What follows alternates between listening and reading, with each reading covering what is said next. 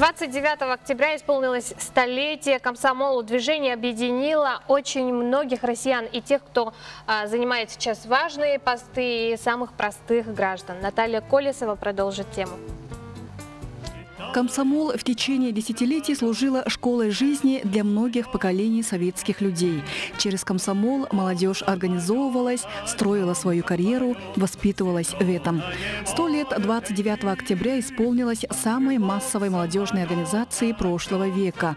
И сегодня бывшие комсомольцы вспоминают о ней с ностальгией и теплотой. Комсомол нам дал такой заряд молодости, такой юности, то есть на всю жизнь. Все наши э, люди все, актив, да, все активные, все стали э, ну, невысокими, но хорошими, большими или руководителями, или э, э, предпринимателями, или учителями. Но все, без исключения, все на своем месте. И все вот с, с комсомольским огоньком, с таким зарядом молодости. Студенческие годы, как известно, это лучшие годы в жизни. И нам очень повезло, что у нас на факультете была очень активная такая комсомольская жизнь агитбригады, студии пантомимы, театр. Мы сами ставили спектакли, никто нас не просил. Это наша инициатива полностью. Даже кружок парашютизма был такой. Вот, вот и все вот в этом мы участвовали.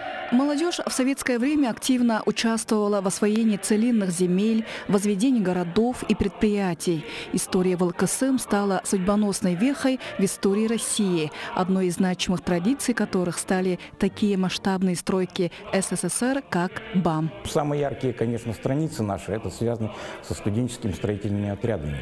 Тогда для нас не было вопроса, куда ехать летом отдыхать только стройотряд. Нам посчастливилось принимать участие и жить в этом в это время и строить, и быть нужным, и быть причастным к этому великой ударной комсомольской стройке. И я этим очень горжусь и всем горжусь. Пользуясь случаем, хочу поздравить всех своих э, друзей, комсомольцев и всех э, комсом, комсомольцев тех лет со столетним юбилеем.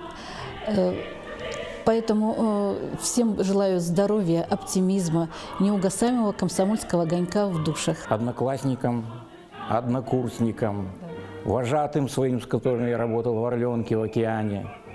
Всем большой комсомольский привет и пожелание такое, как в песне нашей поется в гимне, не расставаться с комсомолом и быть вечно молодым. С днем рождения комсомол, вечная юность и задор. Наталья Колесова, Гаврил Дичков. Новый день.